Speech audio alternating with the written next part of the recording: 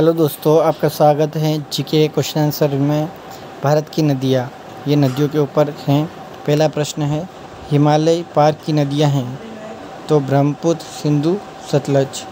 भारत की बृहत्तम नदी कौन सी है? गंगा। अगला प्रश्न गंगा नदी को बांग्लादेश में क्या कहा जाता है? पद्म नदी।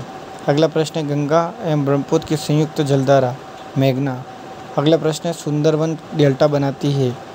गंगा ब्रह्मपुत्र नदी तलछट को प्रभावित करने वाला नदी ब्रह्मपुत्र, भागीरथी नदी निकलती है, गोमुख से निकलती दोस्तों। हगरी सहायक नदी है तुंग भंगा की। प्रायद्वीपी भारत की सबसे बड़ी नदी कौन सी है? गोदावरी, नाम भी बड़ा है, नदी भी बड़ी है। जूनी नदी गिरती है, कच्छ के रण में।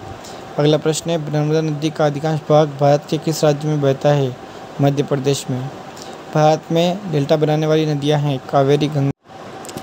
कौन सी नदी ब्रंश द्रोणी से होकर बहती है? इसका जवाब है नर्मदा। सोन और नर्मदा निकलती हैं, अमरकंटक से निकलती दोस्तों।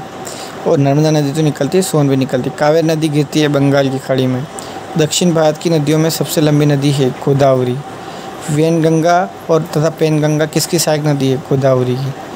बंगाल का शोक दामोदर नदी, बहुत इंपॉर्टेंट प्रश्न। बिहार का शोक कोसी मतलब कोसते हैं। विनाशक नदी, कोसी। कोसी सबको बर्बाद करती है, इसलिए इसका नाम है विनाशक नदी, बिहार का शोक। और दोस्तों, ये सारे बहुत इंपॉर्टेंट प्रश्न हैं, नदियों के।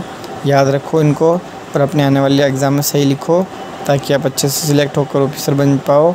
और प्यारे दोस्तों, हमारे चैनल को सब्सक्राइब करो, ताकि आपका योगदान बने, और हम भी अच्छी अच्छी वीडियो बनाएँ। Thank you friends thank you so much